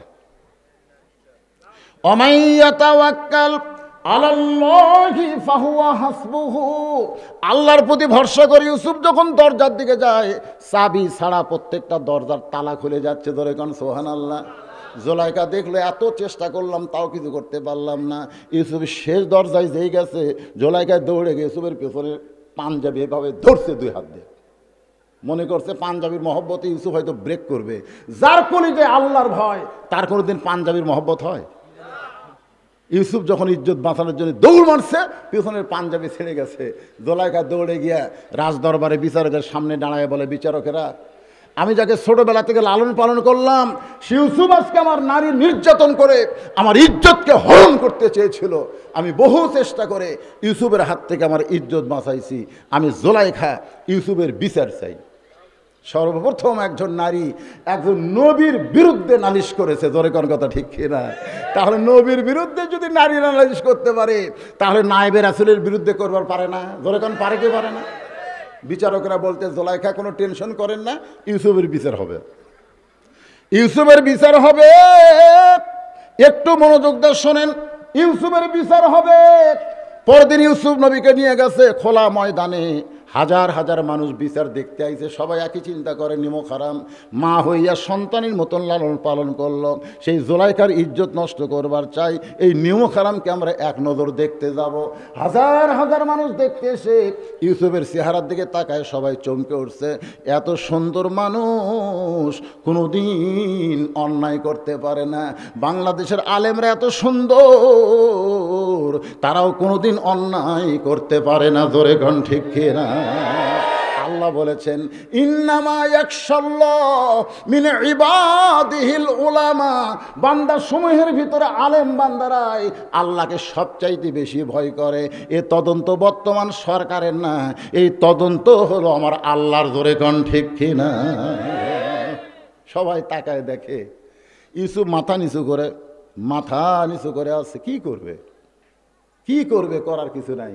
বিচারের প্রধান বিচারপতি বলতে সব এই সব যে জোলাইখা তোমার লালন পালন করল, তুমি তার ইজ্জত নষ্ট করবার সব এত বড় নিমক হারাম তুমি কেমনে হইলে? এমন কথা যখন বারবার বিচারক বলতেছে, তাফসিরের মধ্যে আছে আড়াই মাসের একটা ছোট্ট বাচ্চা মায়ের কোল থেকে বলে, রে বিচারকেরা এ বিচারকেরা, অভিযোগ করলি, তোমরা বিচার করতেছো। একটাবার তদন্ত করে দেখো দোষীকে যদি ইউসুফের জামা সামনে ছেড়ে তাহলে ইউসুফ দোষী। ইউসুফ জোর করে জোলাইকাকে ধরবার চাইছিল। জোলাইকা বাঁচার জন্যে ইউসুফের জামা সামনে ছেড়ে দিছে। আর ইউসুফের জামা যদি পিছন দিকে ছেড়ে, তাহলে বুঝবা ইউসুফ নির্দোষী, জোলাইকাই দোষী। তোমরা তদন্ত করে দেখো তো অবস্থা কী। সমস্ত বিচারকেরা তদন্ত করে দেখে ইউসুফের জামার সামনে তো ছিঁড়িনি বরং একটা ময়লাও পর্যন্ত নাই। পিছন দিকে তাকায় দেখে পাঞ্জাবি ছিঁড়ে গেছে। সমস্ত বিচারক চোখ বন্ধ করে। মনে মনে বলতেছে, ইউসুফ, তুমি নির্দোষী। ইউসুফ, তুমি নির্দোষী। কিন্তু আমরা জবান খুলবার পারতেছি না। আমরা বর্তমান সরকারের চাপে আছি। সব বিচারক ইউসুফ নির্দোষী রে, কিন্তু আমরা মুখ খুলবো কেমনে? কারণ জোলাইকা হলো প্রধানমন্ত্রীর বউ। জোলাইকা হলো প্রধানমন্ত্রীর বউ। এটি যদি জোলাইকা দোষী কই তাহলে আমাকে বিচারকের পদই থাকবি না। জোরে কোন কথা ঠিক কিনা? সমস্ত বিচারক মাথা নিচু করে বলতেছে, মনে মনে ইউসুফ, তুমি নির্দোষী, কিন্তু আমরা চাপে পড়েছি, আমরা কেমনে জবান খুলি? সবাই যখন চুপ করে আছে, আজিজ মিশর বলে, রে বিচারকেরা, তদন্ত করার রিপোর্ট দাও। প্রধান বিচারপতি বলতেছে, এস কে সিনহার মতন প্রধান বিচারপতি বলতেছে, ইউসুফ, তুমি দোষী। যেই বলছি, ইউসুফ, তুমি দোষী, সব বিচারক জিব্বা এটা কি রায় হলো রে? এটা কি রায়? সমস্ত সাক্ষী একটাও তার বিরুদ্ধে নাই। তারপরে কয়, ফাঁসি। এটা কি রায় হচ্ছে? বিচারের কাছে জিব্বাত কামড় খাইছে। সোহান আল্লাহ ইউসুফ চোখের পানি বের করে কানতেছে বিনা দোষে দোষী কইরা আল্লাহ, বিনা দোষে দোষী কইরা আল্লাহ, ইউসুফ দিলা জেলখানা, আল্লাহ, উপায় বলো না, জনম দুঃখী কপাল পোড়া নবী ইউসুফ একজনা। আল্লাহ কয়, কান্দিস না কান্দিস না, জেলের মধ্যে বিনা দোষীরে ঢুকাইলে তার দোষ প্রচার হবে না, বরং তার প্রশংসা হবে ইউসুফ রে একটা বার জেলে যা। আগে ওয়াজ করলে পাঁচ পঞ্চাশ হাজার হতো, আর বার হয়ে যদি তুমি ওয়াজ করো আমির পঞ্চ- পাঁচ লক্ষ মানুষ হবে ধরে কোন কথা ঠিক না দোষী না রে! বিনা দোষীকে দোষী বানায় শোনেন, বিনা দোষীকে দোষী বানায় জেলখানার মধ্যে দিলে দিন দিন তার দাম বাড়ে না, কমে। হ্যাঁ জোরে কান বাড়ে না কমে। পঞ্চাশ বছর কোরআনের তাফসির করে হুজুর এখন জেলখানায়। আগে যদি পাঁচ লক্ষ মানুষ হতো, এখন পঞ্চাশ লক্ষ মানুষ হবে। বাংলার এমন কোনো জায়গা নাই যে হুজুরের মাহফিলে লোক ধরবে। নারী নির্যাতন করতে মানুষ কোন করতে ছাড়িয়ে দাও, জনগণ পিঠা মারুক। ছাড়িয়ে দে দেখো তো, পিঠা মারে। না, হাতের সাথে হাত লাগানোর জন্য যে হাতত হ্যান্ডকাপ লাগাছে মামুনুল হকের, সে হাতের সাথে হাত লাগানোর জন্য হাজার হাজার যুবক রাস্তার দাঁড়া থাকে আর সে হাতত হ্যান্ডকাপ লাগাছে। চোর ডাকাত হাসে আর কয়, আয় আয়, এমন একটা দেশে ভাই, আমরা মুক্ত হস্তে বেড়াই, আর বলে বেরো হ্যান্ডকাপ লাগে ঘরে। ইউসুফ জেলখানার মধ্যে ঢুকলেন মাগরিবের তিন রাকাত নামাজ কেমনে পাইলাম, এটা বোঝানোর জন্য বলতেছে, একটু মনোযোগ দেন। জেলখানা থেকে এক সময় ইউসুফ নবী মুক্ত হলো, শুধু মুক্ত হলো না, এক সময় মিশরের খাদ্যমন্ত্রী, এক সময় মিশরের প্রেসিডেন্ট হয়ে গেল জোরে কারণ সোহান আল্লাহ যে দশজন কুয়ার মধ্যে ফেলা দিয়েছিল দশ ভাই, ওর আবার ইউসুফ নবীর কাছে গেছে। যা বলতেছে, মহামান্য রাষ্ট্রপতি, আমরা হলাম কেনান দেশে ইয়াকুব নবীর সন্তান। আমরা আপনার কাছে একটু সাহায্য চাই। ইউসুফ মনে মনে কয়, কে রে, এরাই তো দশজন রে। এই দশটাই তো আমার হাত পাও বান্ধে কুয়ার মধ্যে ফেলা দিছে। এরাই তো দশজন। মন বলতেছে, লাগা! এখন তো র্যাব আছে, পুলিশ আছে, লাগা! এই দশটা বান্ধে মর মাদে। এটা বলতেছে মন। সোহান আল্লাহ আর ইমান বলতেছে, বিয়াল্লিশ বছর আগেকার কথা মনে করে কি হবে? বিয়াল্লিশ বছর আগে। কারণ বিয়ার দিনেই বউকে সন্দেহ হয়েছে। এখন বাসর রাত্রে বইয়েরা গাঁত হাত দিবার যায়, খালি সন্দেহ করে, এত সুন্দরী বউ, বিয়ার আগে হয়তো প্রেম টেম করছে। বউকে সন্দেহ করে বইয়ের গাঁত আর হাত দেয় না। বারান্দাত ঘুরতেছে বাপ কয় কারি ঘুরিস কে? এত সুন্দর বউ তোর বিয়া হলো, তুই ঘুরিস কারে বলতেছে, আব্বা, আমার মনে হয় বউ বিয়ার আগে প্রেম করছে। বাপ কয়, মনে হয় বিয়ার আগে প্রেম করছে। করুক বিয়ার পরে যান না করে। সেই চেষ্টা কর, যা। এই পাগলা, বিয়ার আগে যা করছে করছে। বিয়ার পরে যার প্রেম না করে, যা। বাপ মার কথা মতোই বউলে সংসার করছে। বিয়াল্লিশ বছর পরে বাপ মা মরিছে। মরার পরে ওই পুরানো ব্যারাম আবার মাথা চাড়া দিছে, আবার মাথা চাড়া দিছে। ওই বইয়ের ঘরে যায় বলতে, তুমি তালাক। বউ বলতেছে, বুড়ি বয়সে তালাক কিসের? বিয়ার আগে প্রেম করছু। তো বিয়ার আগে প্রেম করছি বিয়ার রাতেই তালাক দেন। এত বছর পর সন্তান সন্তান হয়ে গেল লাতিলুৎকুর হয়ে গেল। এখন আবার এই পাকলা বেড়া মাথা তুললো কেন? আমি বললাম স্বাধীনতার যুদ্ধের পরে যুদ্ধ অপরাধী তালাক দাও। জোরে কোন কথা ঠিক না সবগুলো ফাঁসি দাও। তাদেরগুলো সংসার করে বিয়াল্লিশ বছর পরে তোমাকে মাথাতে পুরানো বেড়াম উঠল কেন? জোরে কোন কথা ঠিক? আয় হায়, যে শালারা ভোট পায় না বিনা ভোটে মন্ত্রী এরাই কিন্তু এটা চাঙ্গা করে দিয়েছে। ধরে কোন কথা ঠিক না বিয়াল্লিশ বছর পরে এই পুরাণ কথার মনে করিস না। এরা যদি কুয়ার মধ্যে ফাইলা না দিত, তুই আজকে মিশরের প্রেসিডেন্ট হওয়ার পারতি না। ইউসুফ রে, ভুলে যা ভুলে যা। যদি গভীর রাত্রে নবী হিজরত করে মদিনায় না আসতো, তাহলে মক্কা বিজয় হতো না। জোরে খান কথা ঠিক কিনা? মক্কা বিজয়ের দিন উমর যখন বলতেছে, ইয়া রাসুল আল্লাহ আমি আবু জেহেলের বেটা একরামাকে হত্যা করব, ফাঁসি দিব। আমি আবু সুবিয়ানকে ফাঁসি দিব, হিন্দাকে ফাঁসি দিব। আপনার চাষা আমির হামদার কলজা চাবা খাইছে। রাসুল বলতেছে, উমর, আমি সমস্ত যুদ্ধ অপরাধীকে মাফ করে দিলাম। ফাঁসি দেব না, দণ্ড দেব না। কারণ তাদের কারণে হিজরত না করলে আজকে আল্লাহ আমাদের মক্কা বিজয় দিত না।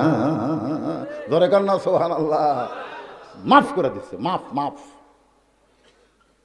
ইয়াকুব ইউসুফ নবীর সঙ্গে মিলন হচ্ছে, একটু খেয়াল করবেন, এত বছর পর ইয়াকুব নবী, তার সন্তানকে বুকের মধ্যে নেয়। এমন সময় শুক্রিয়া তান তিন রাকাত নামাজ আদায় করে। এই তিন রাকাত নামাজ আল্লাহর কাছে এতই ভালো লাগছে, আল্লাহ ডাকতে বলে, হাবিব, এত বছর পরে সন্তানকে বাবা বুকে না নিয়ে আমাকে সেজদা দিয়েছে। এই তিন রাকাত নামাজ আমি আল্লাহর এতই ভালো লাগল। আপনার উম্মতের জন্য মাগরিবে তিন রাকাত হিসেবে দিয়ে দিলাম। আপনার উম্মতেরা মাগরিবে তিন রাকাত নামাজ যখন জামাতের সঙ্গে আদায় করবে, ইয়াকুব ইউসুফ নবীর সম পরিমাণ সোয়াব আমি আল্লাহ দান করে দিব। সোহান আল্লাহ রাসুল বলতেছে, আল্লাহ, এই মাগরিবের তিন রাকাত পড়লে দুই নবীর সমান সব দিবেন। এটা যদি আমার উম্মতেরা জানে, আমি আপনার কাছে ওয়াদা করতেছি, ওরা মরে যাবে কিন্তু মাগরিবের নামাজ কোনোদিন ছাড়বে না। আল্লাহ বলেছেন ইন্না সলাতি পড়েন ইন্না সলাতি অনুসুখি অমাহাইয়া অমামাতি লিল্লাহি রব্বিল আলামিন। দুইটা দুইটা, একটা হলো ফাসাল লিলি রব্বিকা আর একটা হলো ওয়ানহার, একটা হলো নামাজ, একটা হলো কুরবানি। এই দুইটা আমল যারা করবে, তারাই পান করবে হাউজে কাউসারের পানি। আমি পাঁচ অক্ত নামাজের মধ্যে চার অক্তর কথা কইলাম, এখন এক অক্ত বাকি আছে। কয় অক্ত আজকে বিশ্বকাপ খেলা কখন শুরু হবে?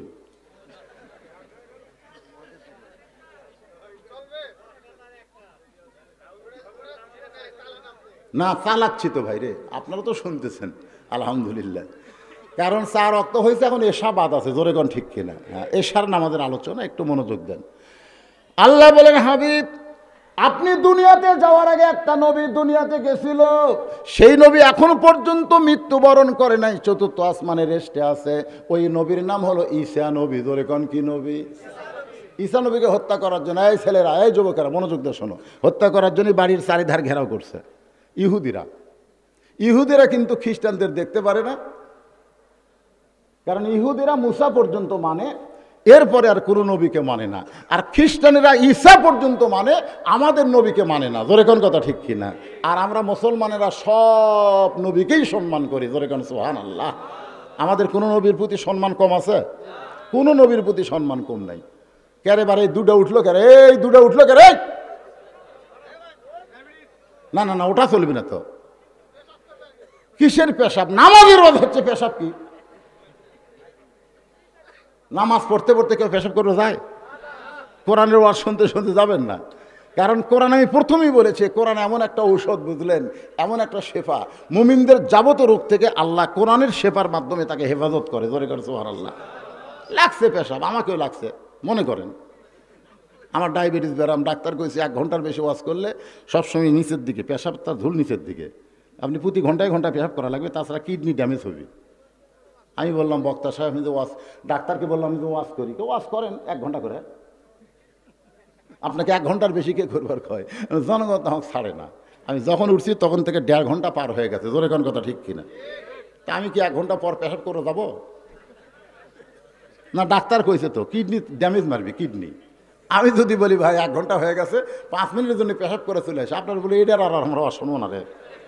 ওয়াজ করতে করতে পেশাব করবার যায়। ওয়াজ করতে করতে বক্তা পেশাব করবার গেলে আপনাকে মন খারাপ। তো ওয়াজ শুনতে শুনতে আপনারা গেলে আমার মন খারাপ হয় না। এই এশার নামাজটা শোনেন ভাই, পাঁচটা অক্ত নামাজ কমপ্লিট হলে এরপরে কুরবানির একটা ডাঁটের ওয়াজ হবে, কুরবানি। এটা গরু কুরবানি নয় রে, এটা খাসি কুরবানি না। এটা হলো আল্লাহর দিনকে গালিব করতে গিয়া বাংলার জমিন আমাদের কুরবানি হওয়া লাগবে, জোরে কোন কথা ঠিক কিনা? হ্যাঁ শেষ করব। আগে আপনাকে সাইজ করে নিই, কুরবানির ওয়াজ করতে গেলে সাইজ হওয়া লাগবে না? এখন এশার চার রাখা ফরজ নামাজ। একটু মনোযোগ দিয়ে শোনেন ঈসা নবীর বাড়ির চারিধার ইহুদিরা ঘেরাও করছে। ইহুদির মধ্যে একজন বীর। অনেকক্ষণ ধৈর্য ধরে বলতেছে না এভাবে বাড়ি ঘেরাও করে থাকলে হবে না, দরজা ভাঙা লাগবে। তো দরজা সে যখন ধুড়মুড় করতেছে, তখন ঈসা বলতেছে, আল্লাহ, এরা তো দরজা ভাঙ্গে ঘরের মধ্যে ঢুকে আমাকে হত্যা করবি। আমি এখন কোন দিক দিয়ে বাড়াই? আমাদের নবীকে কিন্তু আল্লাহ বার করছে। হিজরতের সময় বার করছে। সাঁত্রিশ জন ঘিরে আছে, তারপর আল্লাহ বলছে, আপনি বার হয়ে যান। আমাদের নবীকে কিন্তু আল্লাহ ওই দরজা খুলেই বার করছে। আর ঈসা নবীকে আল্লাহ দরজা খুলবার দেয়নি। আল্লাহ কয়, না, দরজা খুললে বিপদ হবি, দরকার নেই। আমি ঘরের ছাদ ফাঁকা করে আপনি নিয়ে আসতেছি। আহ, কি মজা রে। আর আমাকে নবীর ওপর কি বিপদ, দেখছেন? নবী বার হয়ে দেখে খালি সব চোখ খালি লাইটের মতন জ্বলতেছে, হাতত লাঠি, বর্ষা। নবী কয়, আল্লাহ, যে হারে ঘেরাও করে আছে, এর মধ্যে আমাকে বারবার কন। আল্লাহ কয়, বার হওয়া লাগবি। আমাকে নবীর ওপর আল্লাহর মনে হয় দয়া নাই রে। আল্লাহ যদি কলো হলি, যে আপনি আমি সাত ফাঁকা করে নিয়ে আসতেছি নিয়ে যাবি না, কারণ আমাদের নবী হলেন শেষ নবী। ধরে কারণ ঠিক না বহু হেকমতের কথা আছে এই হিজরতের মধ্যে। এখন তালা ফাঁকা করে ঈসা নবীকে নিয়ে গেছে আল্লাহ চতুর্থ আসমানে। ইহুদির বীর দরজা ভাঙ্গা ভিতরে ঢুকে ডাক দেয় ইসারে কোথায় লুকাইলি ইসারে কোথায় লুকাইলি? গোটা ঘর খুঁজা দেখে ঈসা নাই। আল্লাহ তালা ওই ইহুদি বীরের চেহারা ঈসা নবীর মতন করে দিছে। এখন দরজা খুলে বলতে ভাই রে, খুবই খোঁজাখুঁজি করলাম ঈসা নাই রে। তো বাইরে যারা লাঠি ছোটালে আছে, তারা কয়, তুই কে? তুই? আমি তো তোরকে, ভাই, তোরকে বীর লাগা বলে শোনার টাইম আছে, লাগা। আসলে খ্রিস্টানরা মনে করতেছে, ঈসা নবী মরিছে, আসলে কিন্তু মরেনি। এই শালারা কিন্তু ইহুদি বীরের পূজা করতেছে। ধরে কোন কথা ঠিক কিনা? দেখবেন ওদের যিশু খ্রিস্ট করে ন্যাংটা করে তো দেখেননি ভাই, এরকম একটা লুং কাপড় পরতে ন্যাংটার মতন। খালি গায়ে ন্যাংটা করে। নবী কোনো দিন হাঁটুর উপর কাপড় তুলবে? কি কথা? এরা কি ধর্মের? আল্লাহ ভালো জানে। এখন লাগে খ্রিস- ইহুদি বীরকে মারছে। ঈসা নবীকে আল্লাহ নিয়ে গেছে কোন আসমানে? চতুর্থ আসমানে গিয়ে ঈসা নবী বলতেছে আল্লাহ দুনিয়াতে মানুষ যায় মরার জন্যে মারাত্মক কথা ভাই, একটু মনে রাখবেন। দুনিয়াতে মানুষ যায় মরার জন্যে ধরে কান কিসের জন্যে? আমরা দুনিয়াতে এসেছি কিসের জন্যে? সবাই একসঙ্গে বলেন, কিসের জন্যে? বাঁচার জন্যে না মরার জন্যে? তো মরার জন্য আসে। আমাকে এত মোশান কে? এই মরার জন্য এসে আমাকে এত মোশন করে, তিনতলা, চারতলা, পাঁচতলা। হায় হায় হায়। হায় হায় রে। বাড়ির দিকে তাকায় আর কয়, একটা ব্যাসাদ বানাছি রে। আর সিঁড়িতে উঠতে পারে না, এখন লিফট দিয়ে উঠছে লিফট দশতলা তুটে বলতেছে হা দশ তালা এই খুঁজেছে হামনিয়াত ছাড়ছে, ইতিমধ্যে আজরাইল এসে আজরাইল এসে বলতে চ যাই।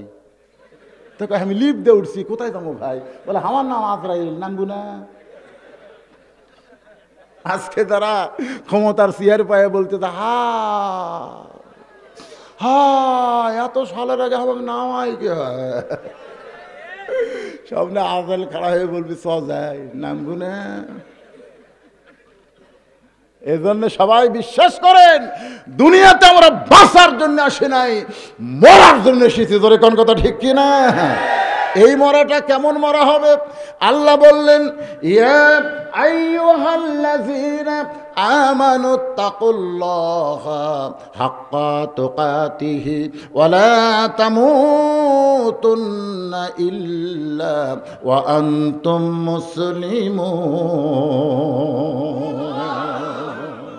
আল্লাহ বলতেছেন, যারা আমাকে বিশ্বাস স্থাপন করেছ। বিশ্বাস স্থাপন করার পরে এক নম্বর আমল হলো আল্লাহর ভয় করতে হবে।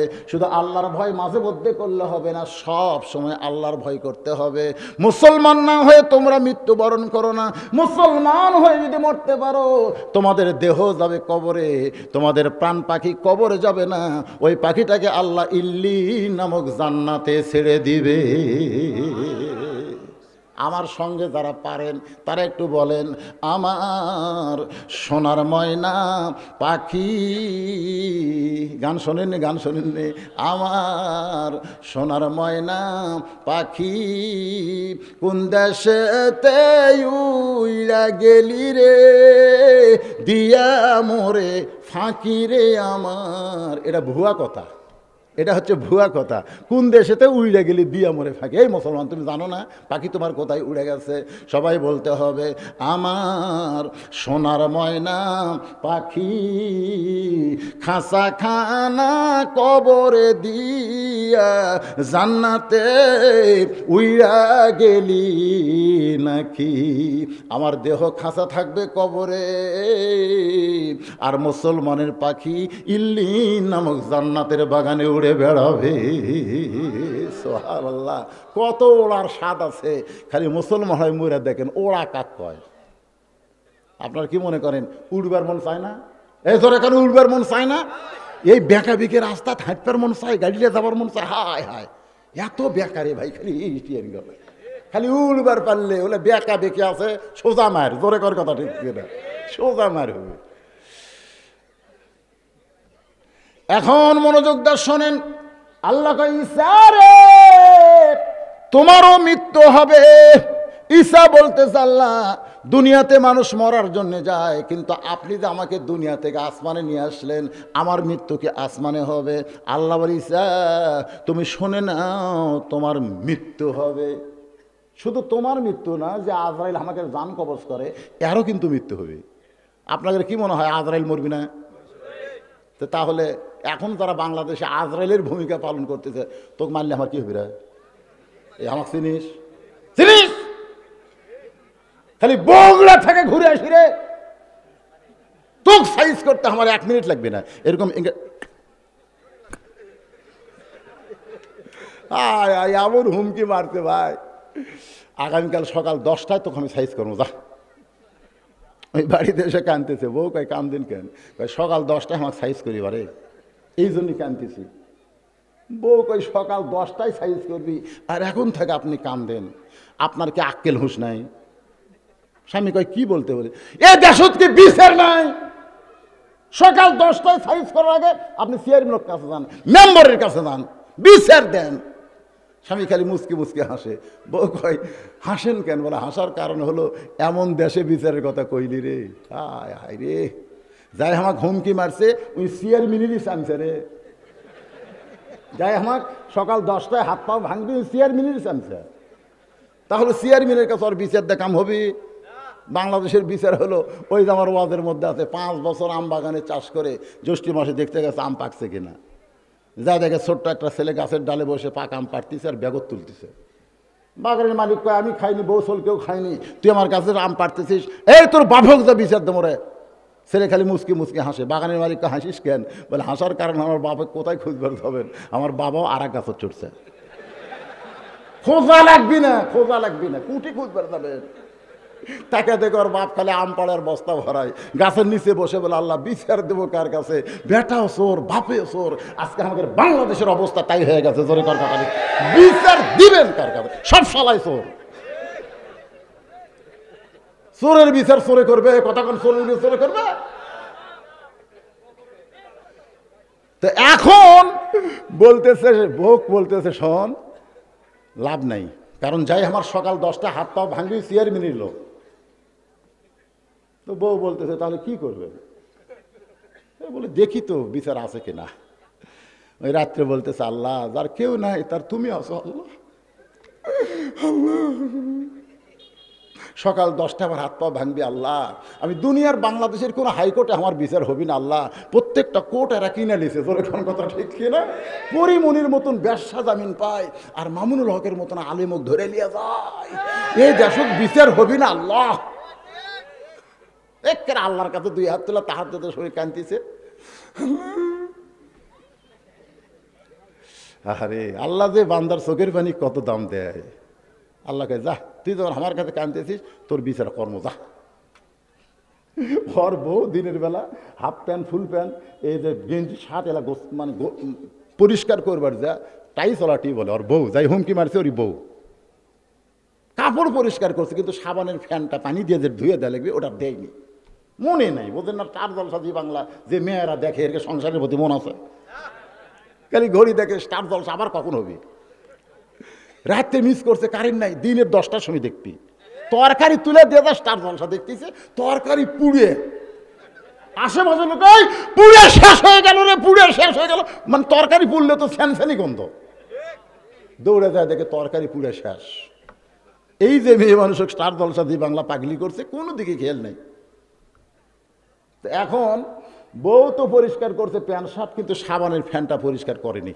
ওটা শুকে যায় লেয়াল পাহসে ওই রাত দশটার সময় পেশাব করবার ঢুকছে। পন্সের স্যান্ডেল পাওয়ার দিয়ে তলা সমান। জরিকন কি সমান?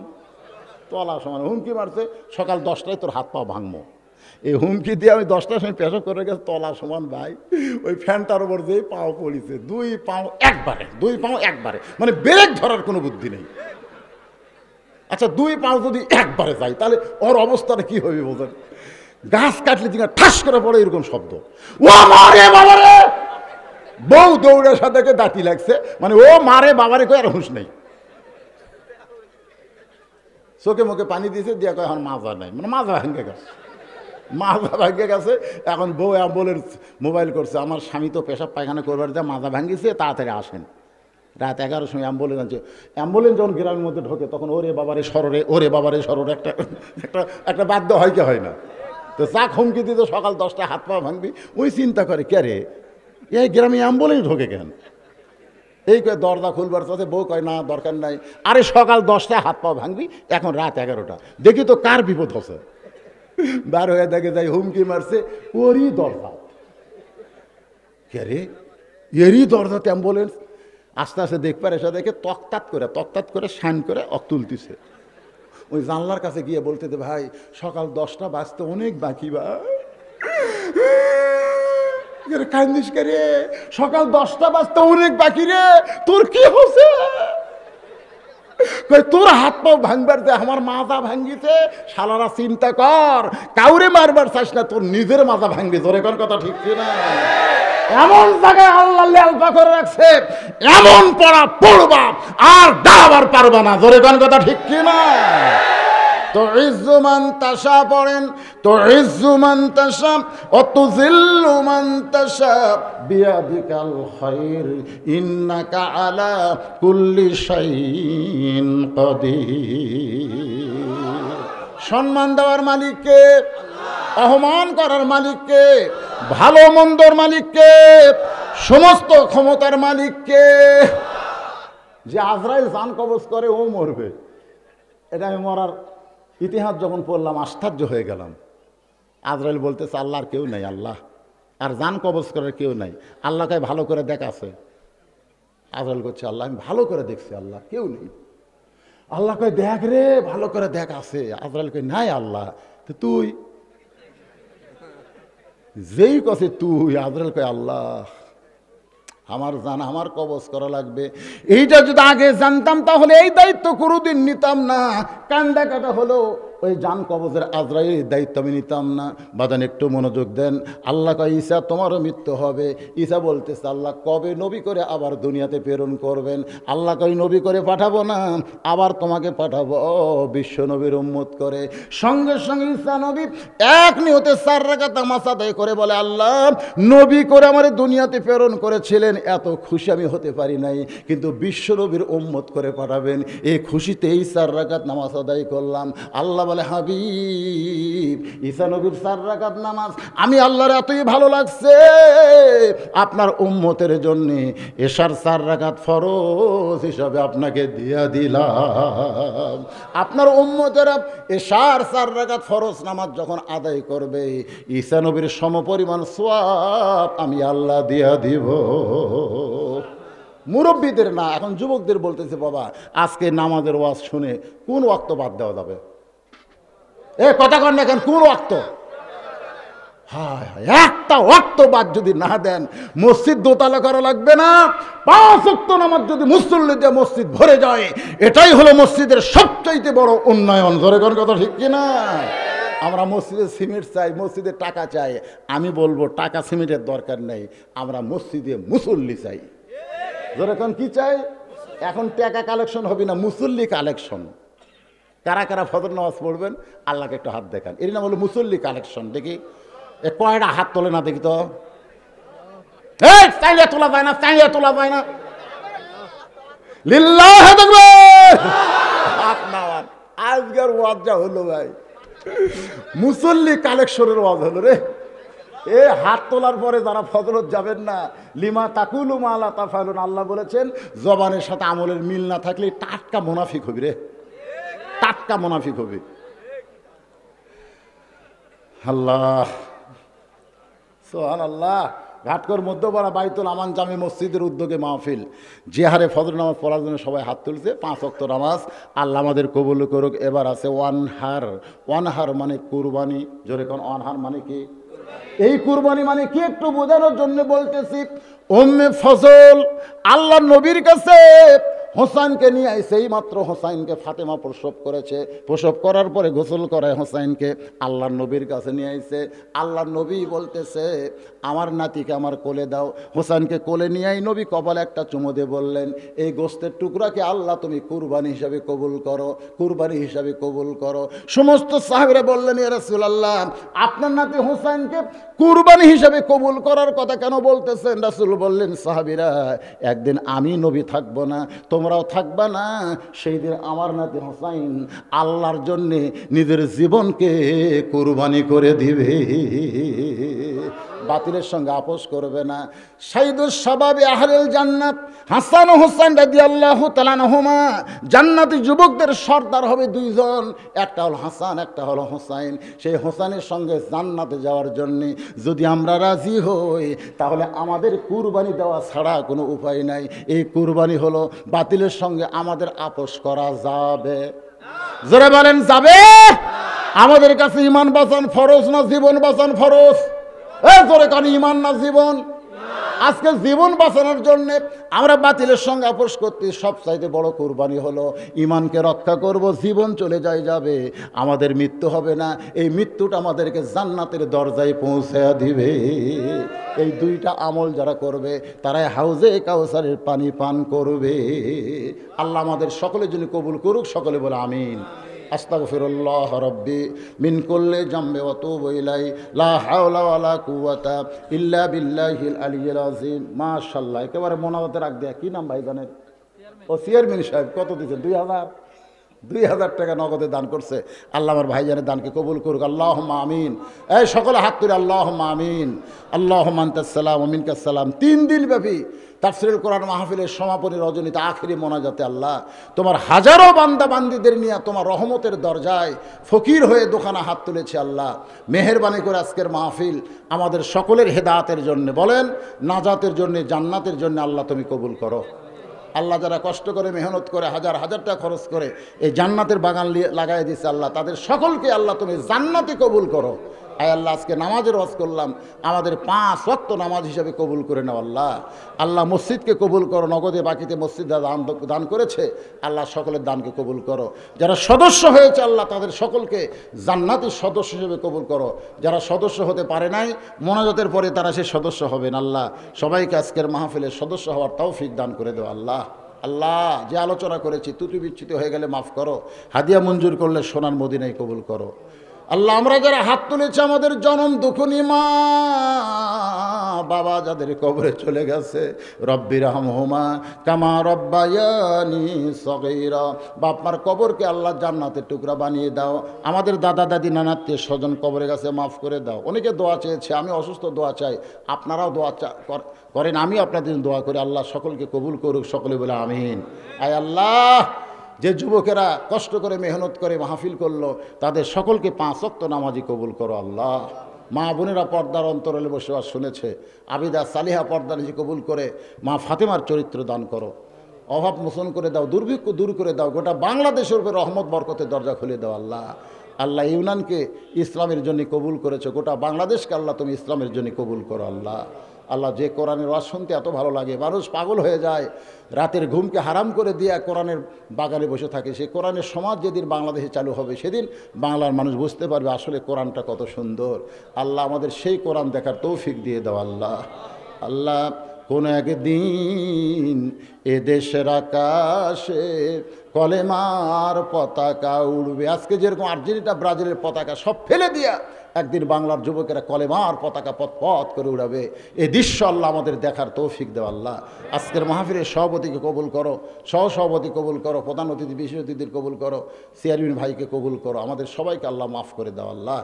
যার দুই কান হাত পছন্দ করো, সেই দুই হাতের ওসিলাই গোটা মাহফিলকে কবুল করে মৃত্যুর সময় আমাদের জবানে জারি করে দিও। লা ইলাহা ইল্লাল্লাহু মোহাম্মদুর রসুল্লাহ সাল্লাহ সাল্লাম। আসসালামু আলাইকুম ওয়া অবরাকাত সম্মানিত মা বোনেরা, আপনারা একটু পরে বের হবেন। সম্মানিত মা বোনেরা